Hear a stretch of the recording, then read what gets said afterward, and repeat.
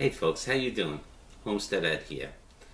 Well, I don't know if you remember, but a few months back I got my uh, amateur radio license.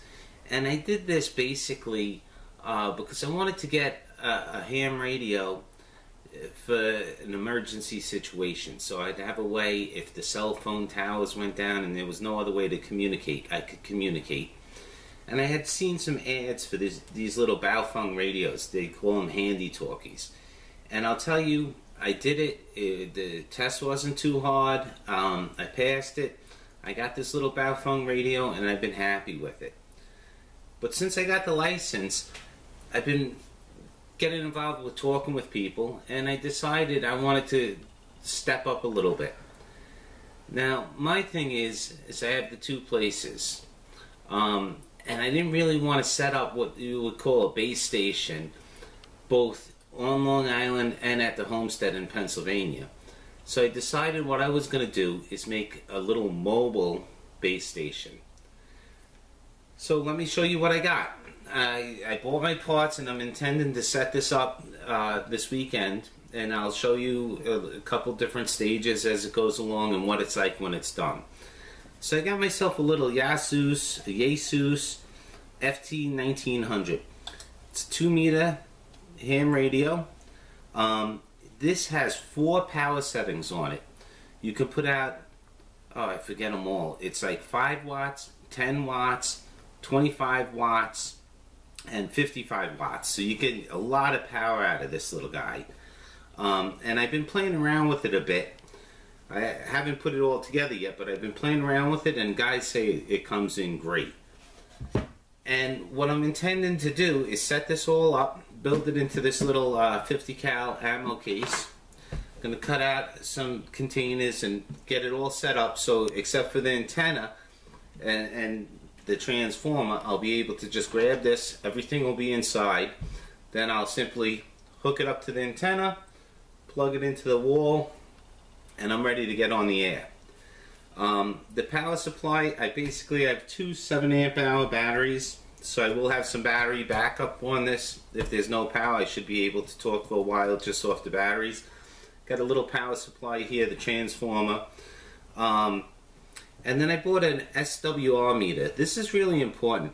Uh, this is basically tells you how good your antenna is tuned in. And since I'm going to be taking this from one place to the other place and uh, switching it into different antennas, I want to be able to see. Um, that's about it. I bought a little tiny um, mag mount antenna for the car. So I, I bought this because it, in Pennsylvania right now at the homestead, I have an antenna set up, a fire stick up on a on a post, and that, that's really good. I've been playing around with it with an adapter I have for the handy talkie, and it does really good. I'm going to build another base station antenna here on Long Island, and then I figured, but for now I could I, could try it out with this little guy, or if I'm traveling back and forth, I could stick this on the top of the roof, have this sitting on the passenger seat, and I could, uh, you know, maybe make some contact. So I'm going to get down in the basement, I'm going to cut this out a bit, and then I'll show you how it's coming along, and I'll show you what it looks like when it's all done. So I've got everything uh, planned out, marked out, and I'm ready to go. I drilled a couple little test holes in there uh, just to see that things will work. And I figured I'd give you a quick little look. Um, inside here, what I did, I took the bracket normally used to mount this radio in a car, and I just flipped it upside down, and I put the two batteries in here, and it fits nice and snug. So that's basically going to be uh, where my radio is going to sit, right on top of here. Now here, I marked out where I'm going to cut out to put the radio in. And I mounted a, the clip for the uh, mic to hang on the side. So basically, the radio is going to sit in there like this. On top of that bracket. And nice up and tight against the batteries. And then the SWR meter, I'm going to mount right here.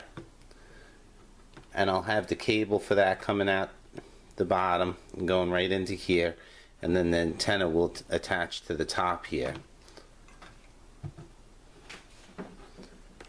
inside on top of the batteries, I'm just going to mount the power supply. The, these cables will go to my batteries. And this is going to come through the back, and I'm going to have a little TV plug back there screwed into the back. And that way I can just take my transformer and plug it right into the TV plug when I want to get some power. Well, I'm going to get to work and I'll show you what it's looking like um, when I got everything cut out and ready to assemble.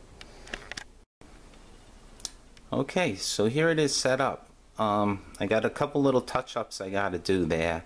Got to put some kind of trim around here where it's not cut nicely. But basically it's all set up. I got it plugged in right now just to this little um, mobile antenna. And um, let me give you a peek inside. There we got our batteries and the power supply. And um, I can run a little while off of the batteries or I have a transformer hooked up to this power supply so when I'm at a place where I have power I just plug this in and uh, that'll keep me going a lot longer but let's just see if we can pick somebody up quickly on the radio uh, let me try turning this on a little low on power here when I click this I'm on a repeater right now so when I click this if we hear a beep that means we got the repeater, or sometimes it might even report in, but let's see. Okay, so you hear that beep there? That means I'm hitting the repeater. That repeater is uh, 8 miles from my house, so that's not too bad. Being in the living room. Here we go, some people talking. Well, I really don't want to put people's conversations on YouTube, so anyhow. Oh, let's check out that meter there. Let's see what we're doing. Okay, I don't know if you can see how that meter is going into the red. You want to keep it at like 1.5, so this antenna is not tuned. Um, so we'll have to work on that. You know, it really, a mobile antenna is meant to be sitting on the car. The car itself works as a ground plane for the antenna. But that's why it was important to have that meter. Well, anyhow, I hope you liked this video and uh, thanks for watching.